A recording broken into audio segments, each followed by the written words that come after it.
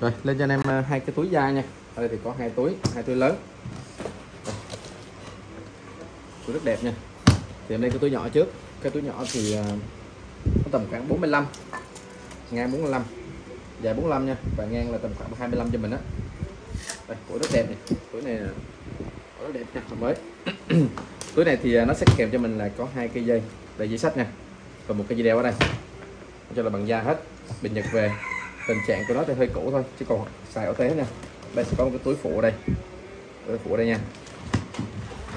Đây sẽ có à, đầy đủ này. Đây sẽ có một thêm một cái túi phụ ở đây nữa.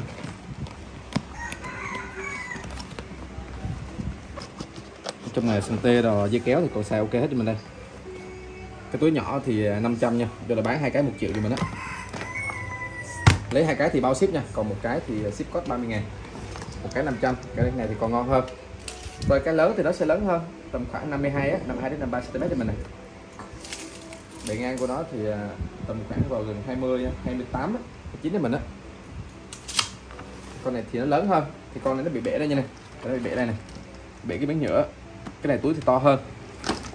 Bể lên thì cũng không ảnh hưởng gì đâu. Cái này thì rất chắc chắn. Rồi. xài thoải mái nha. Cái bìa rộng ở trong này thì ra cho mình tầm khoảng 50 này. Đây, 50 cho mình á. 50 và bên này thì à, tầm khoảng 25 thì nó vẫn có đầy đủ nha, dây kéo, hoạt động ok này. Đây, dây kéo mình nhật nha rất là xịn. Hai cái à, quay tay sách này. Dây đeo.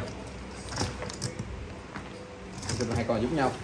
Cái bên này thì nó vẫn có một cái phụ ở đây. Hai cái túi này giống nhau nha. Ở đây nó có cái lỗ rồi là khi nước nó vào nó chảy ra này. Hai con y chang nhau hết nha. Nó không hề bị lỏng nha này. Túi này thì nó chấm nhau hết á. Đây, có hai túi bên này những cái đệm ở sau thì có ok hết. Bên này thì nó sẽ có kèm cho mình một cái à, túi bự hơn. Nói chung thì à, bán con 500 nha. Con lớn à, bị bể một xíu nhựa ở trong một tính 500 lấy hai cái thì bao ship nha. Rồi.